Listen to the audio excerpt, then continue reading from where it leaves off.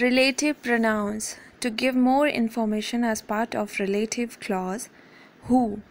Who use किया जाता है person के लिए This is the boy who is my friend. Which.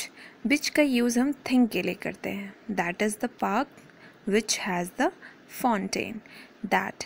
That का यूज़ हम पर्सन और थिंग दोनों के लिए यूज़ करते हैं like this is the man that lives across the street okay whom whom का यूज़ करते हैं person as object of sentence like that that is the doctor whom I want to speak to okay whose whose का use position के लिए positions के लिए किया जाता है like that is the teacher whose book I borrowed where where का use place के लिए करते हैं that is the shop where I bought my dresses when when का यूज़ टाइम के लिए किया जाता है like Christmas is a time when I see family